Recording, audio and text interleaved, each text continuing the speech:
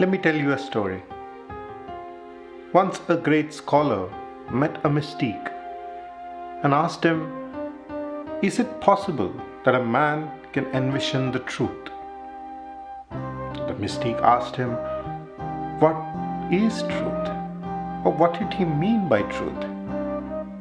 So the scholar replied that truth is that unconditional prerequisite for equilibrium. Mystique replied that unconditionality can only exist beyond the cycles of cause and effect. Therefore, it cannot be seen or envisioned. Now, the scholar replied that I can see beyond the cycles of cause and effect, so I should be able to envision the truth. Mystique told him, okay, prove it. So the scholar picked up a seed from the ground and held it in his palm and said, I can see the seed which is in the tree which is in the seed. I can see beyond the cycles of cause and effect. The mystic smiled and he said, hmm, But can you see the trees which are in the seeds, which are in the trees, which are in the seeds, which are in the trees which is in that seed? Now the scholar fell silent.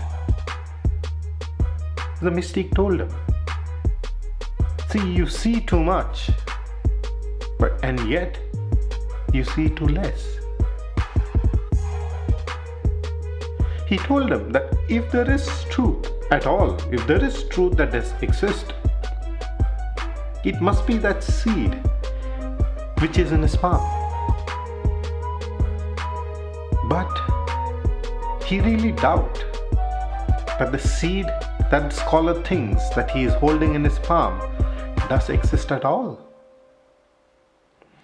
Now the scholar fell silent again in deep thought, and then finally he asked the mystique that does he think that truth does not exist at all?